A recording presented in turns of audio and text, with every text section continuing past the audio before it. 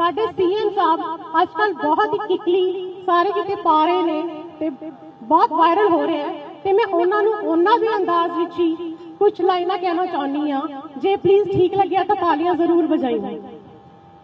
ਕਿਕਲੀ ਕਲੀਰ ਦੀ, ਸੋਚ ਸੁਖਬੀਰ ਦੀ, ਵਿਕਾਸ ਕਰਵਾਈ ਦਾ, ਪੰਜਾਬ ਨੂੰ ਬਚਾਈ ਦਾ ਏਮਸ ਲਿਆਈ ਦਾ, ਵਧੀਆ ਇਲਾਜ ਕਰਵਾਈ ਦਾ, ਰੋਜ਼ਗਾਰ ਵਧਾਈ ਦਾ ਲਿਆਈ ਦਾ, ਜਹਾਜ਼ ਉਡਵਾਈ ਦਾ।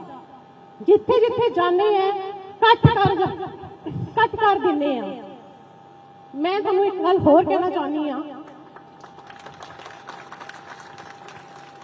ਕਿਕਲੀ ਕਲੀਰ ਦੀ ਠੀਕ ਹੈ। ਐਕਚੁਅਲੀ ਮੈਨੂੰ ਇੰਨੇ ਮੈਂ ਵਧੀਆ ਓਰੇਟਰ ਨਹੀਂ ਹੈ। ਮੈਨੂੰ ਜਦੋਂ ਇਹ ਕਹਿ ਦਿੰਦੇ ਤੂੰ ਬੋਲਣਾ ਮੇਰੇ ਹੱਥ ਪੈਰ ਕੰਬਣ ਲੱਗ ਜਾਂਦੇ ਆ। ਮੈਂ ਮੈਂ ਫਿਰ ਵੀ ਬਸ ਟਰਾਈ ਕਰ ਰਹੀ ਹਾਂ। ਤੁਸੀਂ ਮੇਰੇ ਸਾਰੇ ਆਪਣੇ ਹੋ। ਹਰ ਕਿਕਲੀ ਕਲੀਰ ਦੀ ਸੋਚ ਸੁਖਬੀਰ ਦੀ ਹਰ ਮਹੀਨੇ ਖਾਤੇ ਵਿੱਚ 1000 ਰੁਪਏ, ਇਹ ਗੱਪ ਨਹੀਂ ਫੈਲਾਈਦਾ ਭ੍ਰਸ਼ਟਾਚਾਰ ਤੇ ਘੁਟਾਲਿਆਂ ਵਿੱਚ ਜੇਲ੍ਹ ਨਹੀਂ ਹੋ ਜਾਈਦਾ ਬਾਦਲਾਂ ਨੂੰ ਚਾਹੁੰਦੇ ਸੀ ਤੇ ਬਾਦਲਾਂ ਨੂੰ ਚਾਹਾਂਗੇ ਤੇ ਪਹਿਲੀ ਜੂਨ ਨੂੰ ਅਸੀਂ ਤੱਕੜੀ ਤੇ ਮੋਹਰ ਲਾਵਾਂਗੇ ਤੇ ਪਹਿਲੀ ਜੂਨ ਨੂੰ ਅਸੀਂ ਬੀਬਾ ਸਿਮਰਤ ਕੌਰ ਬਾਦਲ ਨੂੰ ਭਰ ਭਰ ਵੋਟਾਂ ਪਾਵਾਂਗੇ।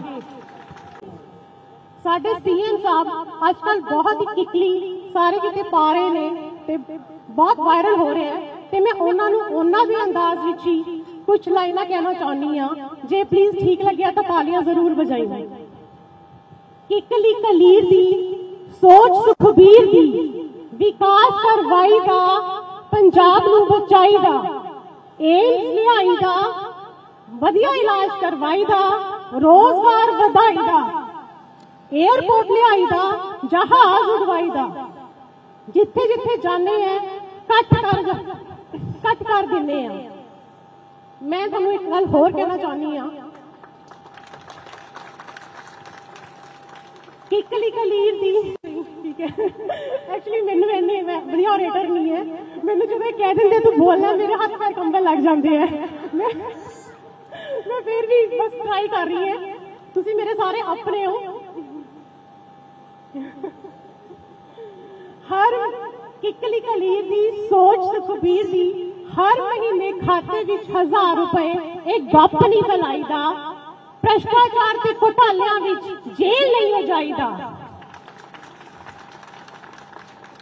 ਬਾਦਲਾਂ ਨੂੰ ਚਾਹੁੰਦੇ ਸੀ ਤੇ ਬਾਦਲਾਂ ਨੂੰ ਚਾਹਾਂਗੇ ਤੇ ਪਹਿਲੀ ਜੂਨ ਨੂੰ ਅਸੀਂ ਤੱਕੜੀ ਤੇ ਮੋਹਰ ਲਾਵਾਂਗੇ ਤੇ ਪਹਿਲੀ ਜੂਨ ਨੂੰ ਅਸੀਂ ਬੀਬਾ ਸਿਮਰਤ ਕੌਰ ਬਾਦਲ ਨੂੰ ਭਰ ਭਰ ਵੋਟਾਂ ਪਾਵਾਂਗੇ।